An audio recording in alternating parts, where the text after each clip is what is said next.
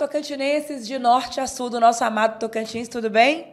Chegando por aqui com mais uma edição do nosso podcast A Casa é Sua Cast, aquele podcast que leva para você e para sua família as informações sobre as leis aprovadas pelos 24 deputados estaduais. Sempre uma honra e muita alegria estar aqui conduzindo esse debate, um debate que é antes de tudo social e que antes de tudo é informativo para fazer com que você entenda o alcance dos benefícios gerados pelas leis aprovadas pelos deputados do Tocantins. Chega para cá, simbora que hoje o assunto é importante informação séria. Hoje vamos falar sobre algo que muitas famílias é, em Palmas e no Tocantins têm passado. Algumas, em algum momento, é, ficam inseguras sem saber o que fazer, como introduzir as crianças no ambiente escolar, e a gente está aqui para tratar sobre isso. Porque os deputados estaduais aprovaram a lei número 3.811, que é de autoria do deputado estadual do Republicanos, Cleiton Cardoso. Essa lei, gente, ela dispõe sobre o acompanhamento integral de alunos com TDAH, que é o transtorno de déficit de atenção com hiperatividade, e também de TDA, que é o transtorno de déficit de atenção sem hiperatividade. Assunto importantíssimo, já anota aí as informações. É, muitas vezes você não tem um filho nessa situação, mas tem um familiar que tem, tem um vizinho, e nós, como sociedade, temos que estar sempre bem informados para entender e respeitar os direitos das pessoas. E, para falar sobre essa lei, que foi aprovada na Assembleia em 2021 e já também sancionada pelo governo, né? Nós temos aqui ela, que é orientadora educacional, Renata Lucena. Renatinha, bem-vinda. Muito bem? obrigada pelo convite. Prazer estar obrigada. aqui. Obrigada. Prazer reencontrá-la aqui. E também aqui na minha frente, ela que é neuropsicopedagoga, olha só, em educação inclusiva e vou voltar essa parte, peraí, 3, 2, 1. Ela, que é pedagoga especializada em neuropsicopedagogia, ó, falei certinho, e em educação inclusiva, Kátia Vaz. Vaz conhece, né, cara? Vaz conhece. Tudo bem? Tudo Como bem. é que tá? Bem-vinda, é um prazer, obrigada, viu? Obrigada, obrigada pelo Bem-vindas aqui, um debate feminino aqui sobre um assunto tão importante. É, a gente, quando a gente fala em TDAH e TDA, primeira coisa, será que as pessoas pelo menos sabem o que, que é? Né? A gente vê muito a sigla TDAH, é, TDAH mesmo, o pessoal fala muito, né? Mas eu queria que vocês começassem explicando, é, pode ser você, Kátia, diferença TDAH e TDA. Então, veja bem, é, alguns é, especialistas eles já até já estão juntando aí as duas, né? Já está para alguns eles só falam só no TDAH, uhum. porque é como eu ouvi de um de um psiquiatra. É, às vezes você não tem essa hiperatividade externa, né? Uhum. Às vezes não, não, é visível, mas ela está interna, né? Às vezes um pensamento acelerado, né? Aquela enxurrada de pensamentos, né? Então assim acaba que você fala assim, não é, não tem a hiperatividade, não tem ela visível, mas ela está ali. Né? Outros ainda fazem essa distinção ali, né? Só o transtorno de déficit de atenção. Uhum. Bacana. Essa lei que nós estamos discutindo hoje, você que está nos acompanhando pela TV Assembleia, ela diz o quê? Ela diz que o executivo pode desenvolver, manter e potencializar um programa de acompanhamento integral para educandos portadores aí do TDAH e do TDA, educando os alunos. Né? O atendimento integral, segundo a lei do deputado Cleiton Cardoso, compreende a identificação precoce, o encaminhamento para diagnóstico, o apoio educacional na rede de ensino e o apoio também terapêutico na rede de saúde. As escolas da rede pública e privada, é, com o apoio da família dos serviços de saúde, devem garantir o cuidado e a proteção aos alunos aí, portadores de TDAH ou TDA, visando o desenvolvimento físico, mental, moral, espiritual e social. Renata, quando a gente fala físico, mental, moral, espiritual e social, você que trabalha numa das mais renomadas instituições de ensino aqui de Palmas, na verdade, é todo um arcabouço, né?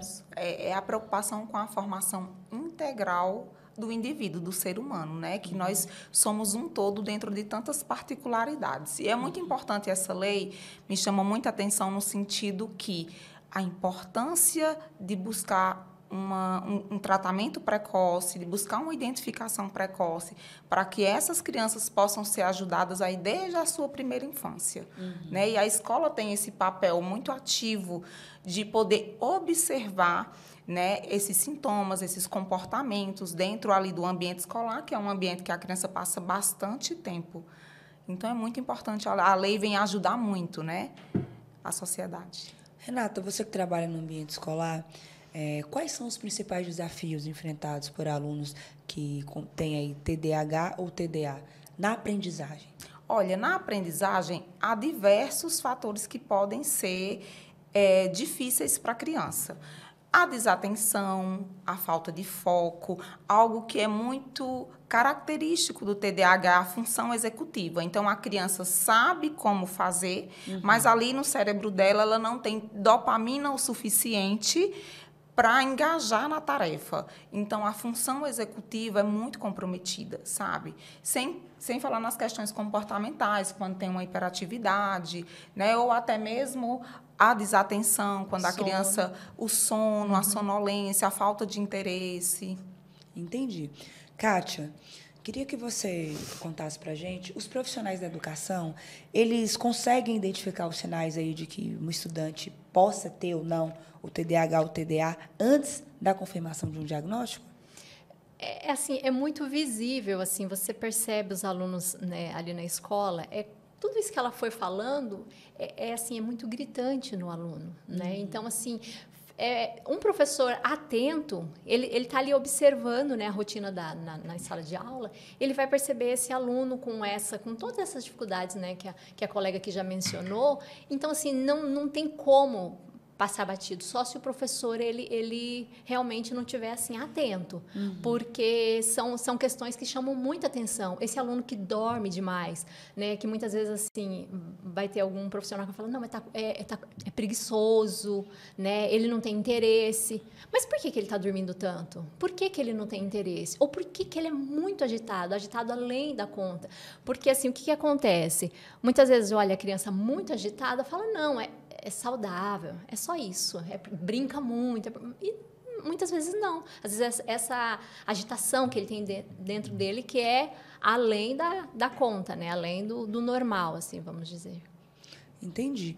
Então, com uma observação do comportamento, pelo que você está dizendo, os professores conseguem pelo menos uma suspeita sobre isso. Isso. E aí, o professor viu, teve a suspeita, quais os próximos passos? Então, aí é onde assim é, essa equipe ali né pedagógica vai procurar a família vai conversar com a família vai explicar né toda a situação tudo aquilo que tem observado para estar tá orientando essa família a ir buscar um profissional qualificado uhum. né, para estar tá trazendo esse diagnóstico, entender por que né, de, de, dessa situação, por que, que essa criança age, tem esses comportamentos, né, essa, essa dificuldade, essa hiperatividade, enfim. Né? Então, é, a, a, a orientação é para que a família busque um apoio né, profissional.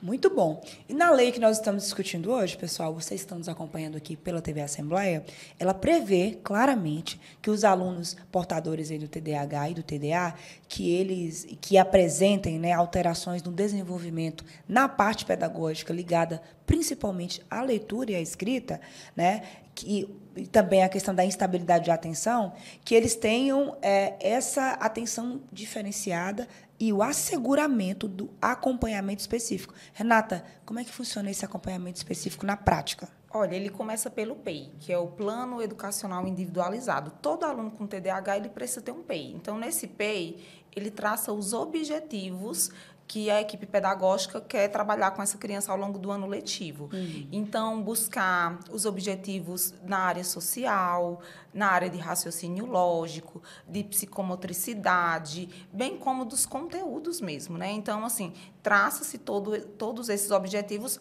para iniciar o trabalho ao longo do ano. Depois, outra coisa que são importantes é começa assim, por coisas simples, o próprio posicionamento do aluno em sala de aula, é o nível de suporte que esse aluno vai precisar ao longo da aula. Existem alunos TDAHs que precisam de mais suporte, de menos suporte. É aí onde entra a questão do auxiliar na sala ou encaminhar né, para a sala de recurso, que é o caso é, das escolas públicas Outra coisa também que é muito importante dentro desse trabalho é o manejo desse aluno. Então, uhum. será que ele consegue fazer toda a atividade de uma vez? Será que eu preciso fracionar essa atividade? Será que eu preciso dar comandos divididos para ele? Outra coisa que também é bem trabalhado, o ambiente para esse aluno fazer avaliação, né? Que deve ser prioritariamente um ambiente mais calmo, com um suporte maior, a adaptação de provas. Então, assim, é um caminhar com bastante especificidades, né? E que, uhum. assim, depende também, por isso que o P é tão importante, porque isso também depende de cada aluno. Existem TDAHs que precisam de mais suporte e outros de menos. Isso. Entendi. Muito bom. Aqui, também, num dos artigos da lei, você que está nos acompanhando aí, é, prevê que os sistemas de ensino devem garantir aos professores da educação básica o amplo acesso à informação, inclusive com relação aos encaminhamentos possíveis para atendimento multissetorial, formação continuada, objetivando capacitá-los para a identificação precoce dos sinais relacionados aí ao TDAH e ao TDA, bem como o atendimento escolar adequado. Ou seja, a lei prevê aqui a preparação desses professores. Na, na avaliação de vocês duas, professor está preparado para lidar com esses alunos com TDAH e TDA? Qual a análise de vocês? Acho que vem se preparando, vem, né? Porque a, a, demanda tem aumentado, parece, cada dia, por conta até do conhecimento, né? Que antes não, não tinha esse conhecimento a respeito do TDAH. Né? Veja bem, eu tenho o diagnóstico de, de TDAH, né? Olha. E assim, só que isso eu consegui adulta já. Né? Então, assim, por quê? Porque lá quando criança você não ouvia falar muito disso. Então, hoje, por conta, né, até questão da internet que está aí, que ajuda muito, né, isso vai se, se espalhando, as pessoas vão tendo mais conhecimento, as pessoas vão buscando mais ajuda, elas vão tentando se entender, porque quando elas percebem que tem alguma coisa é, de diferente ali com elas, ou com os filhos, ou com os alunos, elas já procuram, vão procurar uma resposta, né? Respostas para essas dificuldades, Sim. né? Se a gente pensa no TDAH há 10 anos, há 15 anos atrás, não se tinha tanta informação como é hoje. Eu lembro que quando eu fiz pedagogia, né, há mais de uma década atrás, uhum. é, as pessoas, o meu trabalho de conclusão de curso foi fazer uma pesquisa perguntando nas escolas públicas se os professores sabiam que era TDAH. Olha. E a conclusão uhum. é que a maioria não sabia. Ela, eles tinham informações pinceladas ali de algumas coisas, mas eles não sabiam que era TDAH. Hoje eu acredito muito que os avanços assim das redes sociais, a facilidade com relação a ter programa de formação continuada nas Isso. escolas, eu acho que vem ajudando muito no crescimento é, desses professores. E hoje a maioria tem assim um conhecimento bacana. Claro que é algo que nós precisamos continuar estudando, compartilhando informações. As experiências são muito valiosas dentro das escolas, né? A gente ainda está quem? Está quem, mas está tá num processo, né? Bacana. Que que tá, tá melhorando, tá numa ascendência, né? Verdade. Outro aspecto da lei que, que a lei diz aqui é caso seja verificada a necessidade de intervenção terapêutica, essa deverá ser estabelecida por um serviço de saúde que apresente a possibilidade de avaliação diagnóstica com metas de acompanhamento por equipe multidisciplinar composta por profissionais necessários ao desempenho dessa abordagem. Ou seja, espera lá. Não é só a escola, a escola ajuda a identificar, tem um diagnóstico e depois dali tem essa parte da intervenção terapêutica, né? Isso. Que é tem que ter uma, um acompanhamento ali, né? Não uhum. adianta só, só ter o diagnóstico, só ter um laudo em mãos, né? Não, ah, não adianta só a escola estar tá cobrando, né? A, a, escola ela tem essa, essa parcela de contribuição, de estar tá observando, de estar tá orientando os pais também, né? que muitas vezes não tem esse conhecimento, Sim. a gente percebe que os uhum. pais não têm o conhecimento. E aí esse pai vai direcionar essa criança, e essa criança ela vai passar por uma equipe ali que vai estar tá dando esse suporte necessário para a criança conseguir se desenvolver e Sim. enfim. Né? E hoje o serviço de saúde pública ele, você já pega né, no, no posto da saúde da família o encaminhamento, você já pode ir para um neuro, né? já existe dentro da rede pública de saúde esse apoio. Né? Uhum. Né? Já existe, ainda não dá para atender todo mundo, né? a gente sabe que tem uma fila, não é aquela coisa mas já existe. Então, já existe essa, essa possibilidade da saúde pública é, trabalhar para fazer essa avaliação diagnóstica e também depois para fazer o acompanhamento, seja com fono, seja com psicólogo, psicopedagogo. Entendi.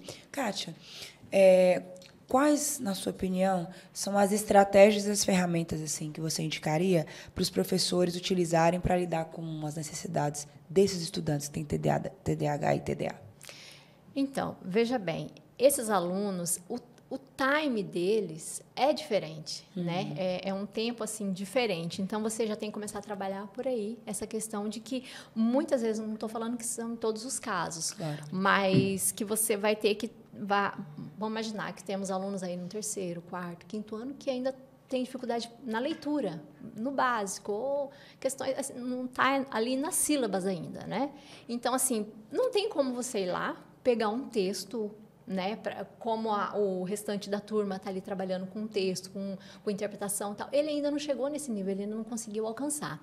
Então, você vai ter que adaptar essa, uma atividade para ele. Ele está ali na turma, ele está acompanhando é, o, as conversas, enfim, né? O, o eu posso dizer? O conteúdo, ele está uhum. ouvindo, ele está acompanhando, mas ele precisa dessa atividade adaptada, que muitas vezes assim eu falo, eu trabalhando em sala de recurso, eu falo que a atividade ela precisa ser colorida para chamar a atenção. Ela não pode ser uma coisa ali preto e branco. Isso também acaba que, que não, não, não atrai a atenção desse aluno, uhum. né? Então, essa é uma questão. Trabalhar com, com coisas mais práticas, né? Eles precisam, assim, porque se ficar ali só na leitura, não, não atrai a atenção deles, porque ele já tem uma dificuldade de se concentrar né, ali na escola, né, no caderno, na leitura, no, no que o professor está explicando, que às vezes acaba sendo muito maçante. Então, você precisa trazer novidades para ele. Né? Aí vamos para o audiovisual, vamos né, uma, uma atividades mais práticas. A gente percebe isso na escola, né, onde eu trabalho ali, que quando tem essas atividades que, que são mais práticas, os alunos eles acabam interagindo mais, eles acabam aprendendo mais. E esse é o momento que o professor muitas vezes né, fica assim maravilhado, porque às vezes aquele aluno que aparentemente não estava aprendendo, ele surpreende. Né? Então, porque muitas vezes não é que ele não sabe, que ele não consegue, ou que o cognitivo dele está ali abaixo, é inferior, qualquer coisa assim. Mas é por conta da desatenção, ele acaba se, né, ele se distrai, uhum. ou então ele acaba querendo dormir, né? Mas ele tem potencial. Então, por isso que a gente precisa trabalhar com as potencialidades da criança, né, do aluno. Nossa, muito bom, muito esclarecedora a sua fala. Agora uma pergunta para as duas. É, até porque, pelo que eu percebi, você também trabalha em escola também. Isso, Pública isso. ou privada? Pública. E você na privada. privada. Ó, então temos duas realidades uhum. aqui. Então, acho que cada uma cabe aí um recorte sobre as instituições que atua. Eu queria saber como é que deve ser trabalhado na escola, no seu caso, na escola pública e você na privada, esse processo de inclusão desses estudantes com TDAH e com TDA. Eu posso começar? então, eu acho que o processo de inclusão é você querer realmente colocar todos juntos, uhum. aprender juntos, compartilhar saberes. E partir de, de, de, do pressuposto que é um direito de todos. É, é, um direito de todos. Então, todos merecem ser tratados com a mesma dignidade, buscando os mesmos objetivos, que são os objetivos de aprendizagem, e lutar por isso no dia a dia né? nos vários campos, porque quando a gente fala em escola, nós falamos muitas vezes, a gente pensa logo em aprendizagem. Só que escola também é um campo social rico. É ali onde começa a desenhar a trajetória social daquela criança. Então, também o colocá-lo bem socialmente, né? interagindo com seus pares, sendo feliz ali naquele ambiente, tendo também os aprendizados sociais. Isso. Tudo bem. E, tem a questão assim que a gente precisa estar tá, é, conscientizando os professores, a equipe ali da escola e os alunos, né? Na escola que eu trabalho, por exemplo, a gente tem ali um projeto, né? Que todos os anos a gente está vai nas salas de aula para poder conversar com esses alunos, com toda a turma, para explicar não só a respeito do TDAH, vamos imaginar ali a questão do do TEA, né, do autismo, temos também os deficientes é, físico, intelectual, tal. Então a gente tem que estar tá, é, explicando para os demais alunos como é que eles têm ali que porque eles não sabem muitas vezes nem como se comunicar como interagir com eles né? Sim. né eles têm essa dificuldade então se você vai lá você leva a informação você explica a limitação de cada um como é que a gente pode estar tá ajudando né, esse, esse aluno, como que você pode estar dando suporte, o que fazer, o que não fazer, o que, o que falar, o que não falar, como ajudar, você também vai estar é, você vai estar auxiliando esse, esses, os demais alunos em como tá agindo com, com esses alunos, com, uhum. com, né, com TDAH, enfim. Muito bom, ótimo. De volta aqui com o seu podcast A Casa é Sua Cast, discutindo hoje a Lei 3.811 que garante aí o acompanhamento integral para os alunos com transtorno de déficit de atenção com hiperatividade, que é o TDAH, e também com transtorno de déficit de atenção sem hiperatividade, que é o TDA. Lei do deputado Cleiton Cardoso, aprovada por todos os deputados estaduais e que, tá, que foi sancionada em agosto de 2021. Estamos falando de uma lei importantíssimo para a inclusão no sistema educacional. E estamos aqui com a Renata, que é orientadora educacional, e também aqui com a Kátia, que é neuropsicopedagoga, é, conversando sobre esse assunto, falando. A gente falava há pouco sobre a inclusão desse aluno, né? E vocês, como têm experiências também é, direta com os alunos, e essa interação entre alunos, como estimular no ambiente escolar? Porque, por exemplo, é, eu tenho uma filha que estuda também na escola e às vezes ela, ela quer explicar que um coleguinha é diferente, ela fala, mãe, fulano que é assim, que é assim. E às vezes eu percebo que, que ela tem a noção de que aquele colega dela tem alguma, alguma questão ali que ela consegue entender e que ela consegue compreendê-lo. Mas pode ser que outro não tenha. Então, assim, como é, estimular, como estimular essa inclusão assim, no clima direto ali, no recreio e tal, entre os alunos? Então, assim, isso parte no momento da quadra, né? quando eles estão ali jogando, quando eles estão brincando. Em sala de aula também, quando você vai fazer um trabalhinho ali em grupo. Né? É...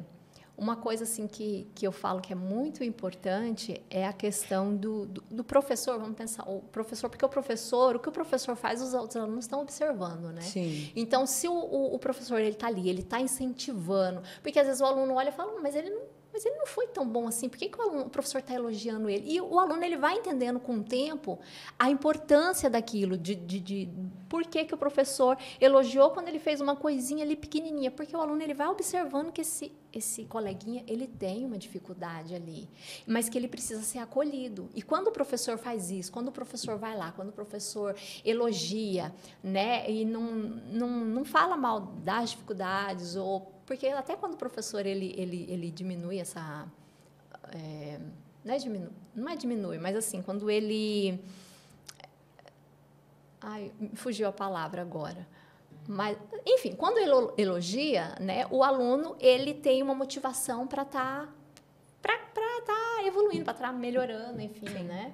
E também, assim, criança, elas são muito naturais, muito espontâneas. Uhum. Então, quando ela vive também num ambiente, como a colega falou, que é estimulado o cuidado um com os outros, o amor, a gentileza. Então, esses valores que nós também ensinamos ali dentro da escola, nós vamos ver que essa convivência entre os alunos que a gente chama de típicos e os atípicos uhum. acontecem também de forma muito natural. Uhum. E quando acontecer alguma coisa ali que foge daquilo que a gente espera, é sentar, é conversar, é explicar. Muitas das vezes, sobretudo o TDAH, que quando não tem assim um nível de suporte muito elevado, muitas vezes a criança com TDAH ela passa despercebido ali entre os outros coleguinhas. Então, muitas vezes nem vai haver essa questão de saber que o colega tem TDAH. Hum, entendi. Né? Tem isso. muito isso. Às vezes ele percebe que tem alguma coisinha quando precisa fazer prova num outro ambiente. Uhum. Então, eles percebem, mas muitas vezes não tem essa noção clara do que, que é. Né? E aí a convivência vai natural.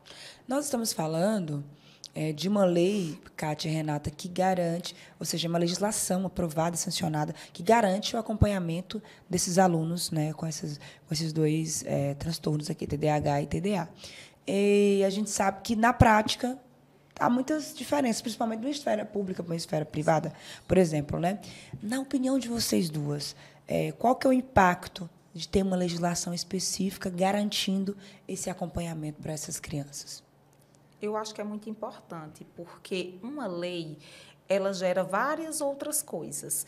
O recurso na escola, a formação do professor, o atendimento na, na saúde, é, a, a própria sociedade entender que precisa respeitar os direitos da pessoa com TDAH. Então, acho que a lei só traz benefício né, para a sociedade como um todo. Entendi, né? E você, Kátia, o que você acha? Então, é como a Renata falou, né? A questão da verba, de vir uma verba, isso daí ajuda demais a conta, porque às vezes a gente trabalha ali com, com o mínimo, né? Uhum. Então, assim, a gente precisa fazer milagres com o mínimo que a gente tem.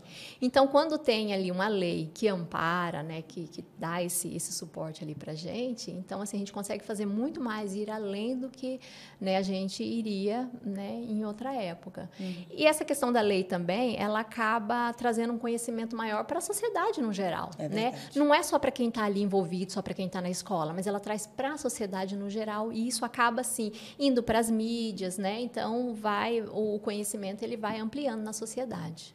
É verdade. Renata, é, queria que você contasse um pouquinho para a gente agora aqui, nesse bate-papo tão leve e tal, quais são os, os, impactos que uma pessoa diagnosticada com TDAH e com TDA tem é, nas fases da infância e da juventude? Quais os principais impactos? Olha, tem um impacto na parte escolar, muitas vezes, de aprendizagem, de baixo desempenho, por conta das questões de desatenção, da hiperatividade mesmo, do pensamento que é bastante acelerado. Apesar que TDAH são, são pessoas que geralmente têm que ir acima da média, mas esses outros fatores né, de desatenção, da concentração, às vezes jogam um pouquinho a aprendizagem para baixo. E aí tem também a questão social, porque a pessoa com TDAH, principalmente o imperativo, o, hiperativo, o impulsivo, né? Quanto desgaste social essa criança não tem? Né? Aquela criança, às vezes, que não, não consegue esperar a sua vez de falar, que às vezes brinca e corre, e às vezes bagunça demais, e às vezes não.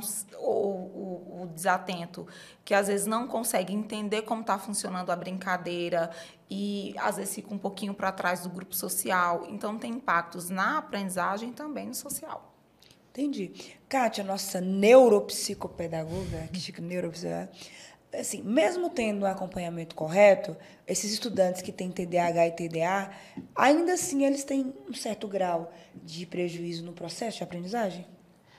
Então, uma coisa assim que eu penso e, é, e até que eu levo para mim, né, assim, no, no, meu cotidiano é que a gente precisa de de estar tá encontrando maneiras de estar tá driblando, né, essas questões, né, é, o TDAH, como ela estava falando, né? Que ele, interrompe a fala de um colega. Então, assim, se você tem o conhecimento, se você tem ali um, uma ajuda de, em terapias, né? Que vai te orientar a como está agindo ali, você já consegue ir se policiando para não atrapalhar né, no caso do aluno, o coleguinha, para não estar tá falando além da conta, não fa falar fora de hora, ou para ele estar tá também ali, tentar se fixar enquanto o professor está tá falando, para ele não se perder. Então, às vezes, ele, ele, ele teve a consciência de que ele se perdeu, então, peraí, vou voltar. Né? Com criança isso é um pouco mais, mais difícil, Sim. mas com o tempo, ele, se ele for sendo trabalhado certinho, ele vai tendo essa consciência e, e ele vai criando né, é, mecanismo, né? mecanismo exatamente para poder driblar essas situações né, de dificuldade que ele tem no dia a dia. Kátia, eu estava vendo, estudando o assunto e vi que as fontes eh, que eu pesquisei dizem que, para efeito de diagnóstico, que é sempre clínico, né, geralmente os sintomas se manifestam na infância antes dos sete anos, é isso? Isso. No caso do TDAH? Isso. É, o que, que acontece? Com o tempo, é, dependendo de como você vai, vai conduzindo a situação, né, às vezes, mesmo sem um tratamento e tal, pode ser que com o tempo você vai, vai sendo modificada, né? Essa, é, você vai a questão da desatenção vai diminuindo, né? Vai é, essas características todas que o TDAH tem, pode uhum. ser que com o tempo isso vai melhorando. A questão da hiperatividade, né? Quando criança, aquela criança que corre, aquela criança que pula, aquela criança, né? E é claro que quando adulto, né, você vai perceber ali numa perninha que está batendo, né, numa mãozinha ali. Então, assim, na, na, nas maniazinhas, mas que com o tempo pode diminuir, né? Então, é, pode ser que o que tem numa época, em outra foi sendo melhorado ou, de repente, até. E ainda em relação à avaliação da criança com TDAH, esses sintomas ele não ocorre só na escola, ele tem que ocorrer em outros ambientes, tem que ocorrer em casa, né, na vida social, na escola. Então essa avaliação, né, esse conjunto, porque são um conjunto de fatores né, é, de sintomas. Então, tem que ter esses sintomas em todos os ambientes onde a criança está. Aí sim, atesta que é TDAH. Entendi. É, segundo dados que nós levantamos aqui, o distúrbio do TDAH, ela afeta de 3 a 5% das crianças em idade escolar e sua prevalência é maior entre os meninos. É isso mesmo? Kátia? Na verdade, assim, os meninos eles apresentam mais a questão da hiperatividade. Uhum. As meninas são mais desatentas. Né? Por isso até que é mais fácil uma mãe de um menino ir procurar ajuda, por Olha. conta de que ele é muito agitado e a menina ela é desatenta ali. Então, é, passa despercebido muito mais nas meninas. E uma outra coisa também é que os dados hoje, a gente até, os pesquisadores falam sobre subnotificação também, né? Também. Porque tem mui- muitos lugares no mundo, né? é, que não tem acesso, que as pessoas não têm acesso à avaliação diagnóstica. Então, que tem o TDAH, mas que não entra, não consegue entrar nesse dado. Isso a gente percebe muito nas escolas, né? Na, na escola ali, porque assim, são muitos alunos que o professor ele olha e ele já está vendo ali claros sinais, né? De- Do TDAH, mas que por conta de. Até a questão financeira também, que é uma coisa que impede muitos pais de irem procurar ajuda. Às vezes ele até tem o conhecimento de que alguma coisa não está não tá certo. Mas eh, a questão financeira é um, um grande problema, né? Entendi. Pedagogicamente, vocês que estão em realidades escolares diferentes, é, o que, que tem de acompanhamento diferente em termos pedagógicos para essa criança que tem TDAH ou TDA? Em termos pedagógicos. Ok. O planejamento, né? Você falou de uma sala de recursos também, alguma coisa assim? Isso. É, a escola pública trabalha com, com a sala de recursos, mas tudo começa no planejamento, no PEI. Então, primeiro o planejamento, depois assim as ações de sala de aula, a localização, né, o nível de suporte que esse aluno precisa ter, as adaptações das atividades, das provas, né, o ambiente muitas vezes separado para determinadas atividades que exijam mais concentração, como por exemplo um teste, uma prova. É. O acompanhamento ali, de, né, se tiver, quando tem condições de ter um professor auxiliar ali no- nesse momento da prova, né, para estar auxiliando esse aluno, para estar ajudando. A questão das atividades adaptadas que ela falou, aquilo que eu já tinha mencionado lá no início. Uma atividade colorida, ela é um diferencial. Sim. né? O aluno está ali pertinho do professor, é um diferencial. Isso ajuda demais, né? Que é aquele aluno que está afastado, que ele vai se perder muito facilmente. Então, o professor, ele, ele estando ali o aluno pertinho, ele consegue resgatar a todo momento esse aluno que muitas vezes vai estar pensando em outras coisas, né? Que não aquilo que está sendo ensinado. É, a gente está falando de uma lei que garante esse acompanhamento desses alunos com TDAH e com TDA, mas a Renata falou uma coisa que me chamou a atenção, que é a questão dos pais, né? Que tem todo, tem todo esse acompanhamento na esfera escolar, mas é uma grande parceria com os pais, né? Porque tem a parte de casa também. Sim. É, na hora de fazer essa tarefa em casa, se o aluno vai estar disposto, se vai querer. Tem que, ter um, tem que ter um alinhamento aí maior ainda, digamos assim, entre a família e a, e a escola. que é outra coisa que nós investimos bastante quanto escola, que são nos alinhamentos pedagógicos, nas reuniões com o pai. Se essa criança ela já tem uma equipe multidisciplinar que a acompanha, reunião para também fazer esse alinhamento. E uma das coisas mais importantes assim para um TDAH que a- o pai e a mãe precisam saber é ter uma rotina bem estruturada, porque o TDAH ele tende a se perder com facilidade. Então, se a vida dele já é uma rotininha bem estruturadinha, sempre que ele se perder, ele vai lembrar para onde ele tem que voltar. E não só da, da, da estrutura, mas também de pessoas. Quando eu falo em TDAH, eu gosto de falar de pessoas, de pais atentos que ajudam a voltar para esse foco, para esse, para essas atividades do cotidiano, professores que estão ali com o olhar atento a essa criança, a necessidade dela. Então, quando a gente fala de TDAH, nós falamos do amor, do olhar das pessoas, né, para aquele indivíduo que precisa. Isso. Que E tem, isso. tem uma outra coisa, assim, que a gente né, não mencionou até agora, mas que atrapalha demais, que é a questão das telas. Assim, a gente, enquanto trabalhando na escola, a gente percebe que, que assim, os alunos que mais têm dificuldade, se você vai investigando, vai... O próprio aluno perguntando, você percebe que é um aluno que passa muito tempo em casa, no celular ou na televisão, né? E isso é uma coisa, assim, um fator que, que, que piora demais essa questão.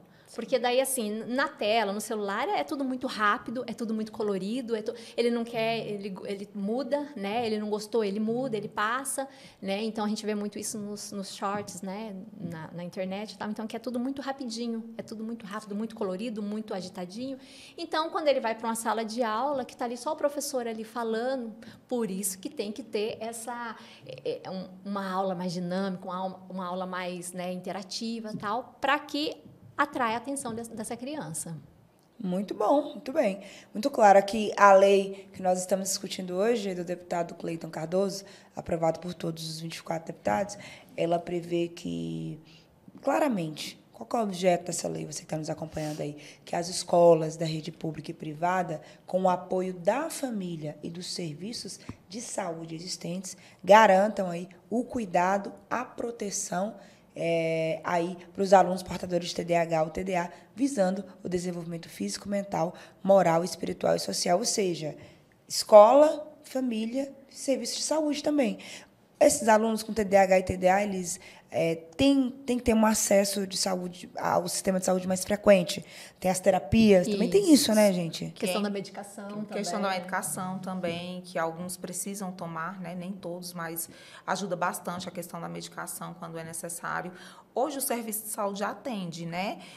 como eu falei no começo, não, não aguenta ainda toda a demanda Isso. que se tem. Mas o aluno com TDAH, ele precisa prioritariamente de um atendimento ali do psicólogo, do psicopedagogo, muitas vezes do fono, Neuro, de né? um TO. Então, assim, depende do nível do TDAH, mas precisa do serviço de saúde. Muito bacana, muito bom papo aqui hoje. Agora eu queria deixar o espaço aberto é, para vocês fazerem as considerações é, finais sobre o assunto. E, Kátia, você, como nossa neuropsicopedagoga, como que a sociedade como um todo, por inteiro, não só a parte escolar, pode se preparar melhor para acolher essas crianças com TDAH e TDA? Eu acho que assim, a, a, o, o ponto principal é acabar com a questão do preconceito em si, né? E entender que cada pessoa ela tem um jeito, enfim. Então, assim, quando você vê ali uma pessoa que que é mais agitada ou uma criança que, né, que enfim, que está ali, que corre, que ela já dá um trabalho ali para a mãe, né? A mãe ela já tem essa, essa, essa, dificuldade de lidar ali. Então, e se você tem ainda a questão de fora, de pessoas de fora que estão ali julgando, esse trabalho ainda fica muito mais árduo para a mãe e também para a criança, que vai só recebendo essa carga negativa né, que vem da sociedade. Então, eu acho que sim, um ponto é estar tá sempre acolhendo as pessoas, observando que, que cada um tem as suas características, né? e, e estudando mais também. Quem tem dificuldade de, de, de entender, de, vai atrás, procura, vai ler. Hoje a gente tem tudo muito acessível aí, né, para que as pessoas possam conhecer né, e ter esse olhar assim mais atento. E até para as escolas também e não assim julgar essa criança ali não é preguiçosa. Ela não é preguiçosa. Ela não é uma criança é, ai só dorme é, é, preguiça. Não não é. Tem que procurar entender qual que é a dificuldade que essa criança tem né? Mesmo que ela não tenha um TDAH é preciso ver o que que tem por trás de tudo isso né? Renata na sua visão qual o principal os principais desafios para a inclusão dessas, desses alunos com TDAH e TDA? Eu acho que é um pouquinho mais de acesso, né? Hoje, se nós falarmos desses 3, 5% da população mundial, eu acho que é acesso a, realmente ao, à saúde, é o acompanhamento de saúde, é a escola mais preparada. Então, nós estamos nessa luta constante, né? Trabalhar a sociedade com bastante informação. Então, veículos como esse está levando a informação para as pessoas, para que cada um possa entender que é mais comum do que se imagina, Sim. né? É, são muitas pessoas e que nós temos que estarmos prontos. Isso. E essa questão da lei aí é uma coisa prontos para para ajudar, né? Para fazer com que essa pessoa se desenvolva em todos os campos da sua vida, que são muito capazes de se desenvolver. Né? Com Muito bacana. Kátia, você comentou aqui no início que descobriu depois também que você tinha isso. TDAH. Conta pra gente como é que foi essa descoberta e o que que isso te ajudou na sua autocompreensão sobre você mesmo, na sociedade. Olha, mas Ju, eu vou te dizer que é um antes e um depois, assim, na minha vida. Eu, eu, eu, eu tenho 42 anos, eu digo que que eu descobri, eu já estava com 40 anos, 39, 40, não sei exatamente. Mas, assim, a partir do momento que veio o diagnóstico ali, né, que eu fui entender por que né, é, dessa, desse pensamento acelerado, por que de acordar no meio da madrugada e ter aquele monte de pensamentos, né? Então, assim, eu fui trabalhando com isso e eu fui buscando esses mecanismos que já né, foram falados aqui, é, para poder estar tá lidando com cada uma das situações. Então, a questão do não é, atropelar as outras pessoas enquanto estão falando. Então, você já sabe que você tem ali uma dificuldade. Então, quais são as minhas dificuldades? Né? Aí, então, você lista as, as dificuldades e você vai ver como é que você pode trabalhar com cada uma delas. Né? Como é que você vai, vai superando. Então, para mim, assim, foi um... Eu falo que é um marco na minha vida. Por isso, até que eu incentivo muito os pais, né, ali né, dos nossos alunos, a buscarem esse diagnóstico aí atrás para saber qual, por que, que essa criança tem tanta dificuldade, né, hum. em algumas situações. Entendi, Kátia. Agora você é, consegue compreender melhor o seu olhar, os seus comportamentos depois que você conseguiu. E a gente vê muitas pessoas famosas, por exemplo, né? Isso. Que agora, agora que eu descobri que eu tenho TDAH, Isso. agora que eu descobri. Então tem que os pais dentro de casa, não só os professores, mas nós, pais, mães, estarmos atentos, mais atentos às crianças, né? Isso. E é, como você falou, olhar os sinais, buscar ali um diagnóstico, né?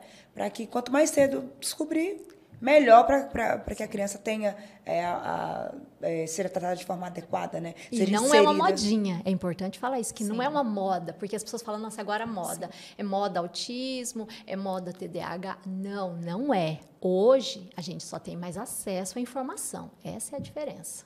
E é um privilégio, porque você imagina aí quantas pessoas uh, acima de 50 anos, de 60 anos, que passaram aí uma vida inteira lutando contra um TDAH.